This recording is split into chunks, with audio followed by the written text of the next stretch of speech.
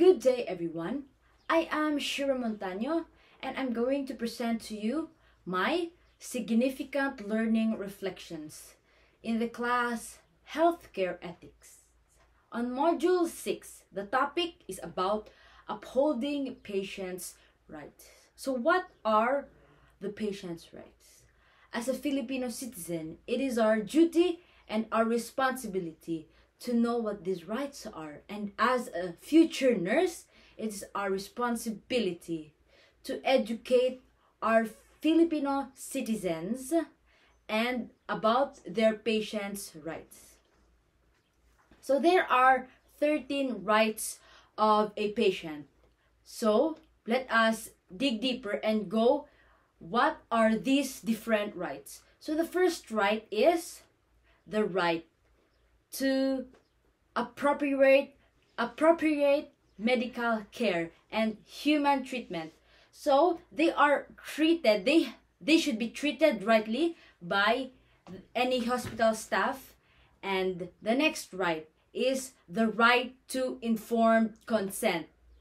So when you go to hospital, you're given this con- consent form. And the next right is the right to privacy and confidentiality. Their information should not be spread to others. It should be kept to the hospital and the patient. The next, the right to information. Also, there is the right to choose a healthcare provider and facility. They can choose whoever they want. The next, the right to self determination and the right to religious belief. The patient has the right to refuse medical treatment and procedures that may be opposite or contrary to his or her religious beliefs. And next is the right to the medical record. So the patient is entitled to a summary of his medical history uh, and his or her condition. The next right is the right to live. And the tenth right is the right to refuse participation in medical research. So when they are asked by any person or any hospital employee, they have the right to refuse. The next is the right to correspondence and the right to receive the visitors.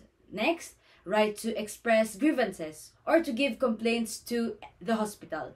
And the lastly is the right to be informed of his or her rights and obligation as a patient. So the patient's rights are not to be neglected but to be listened to. So that is all my learning reflections in the topic 6. Thank you for listening.